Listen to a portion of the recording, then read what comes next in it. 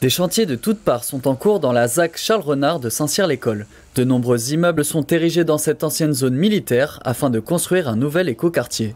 C'est un écoquartier en effet avec euh, une zone 30 euh, sur tout le, quartier, donc une zone partagée entre les piétons, les vélos et les voitures. On a été extrêmement euh, pugnace sur le nombre de parkings euh, dans, les bâtiments justement pour éviter les voitures en surface. L'objectif, oui, c'est euh, des nous, des espaces de prairie et vraiment euh, un sentiment de vivre à la fois la ville, à la fois la campagne.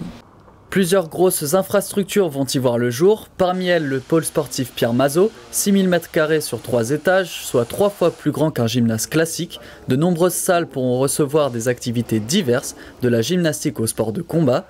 Axe principal du projet, la salle multisport de niveau régional, étudiée pour accueillir à la fois un sport d'intérieur et de l'escalade.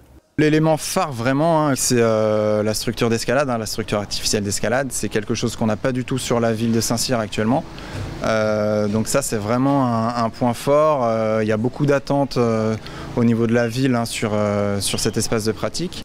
À une petite centaine de mètres de là, un autre grand chantier, celui de la maison des associations. La maison des associations, en fait, elle vient en remplacement du, centre CEMAR, qui était euh, l'ancien centre des associations, qui était composé d'une euh, ancienne demeure de maîtres.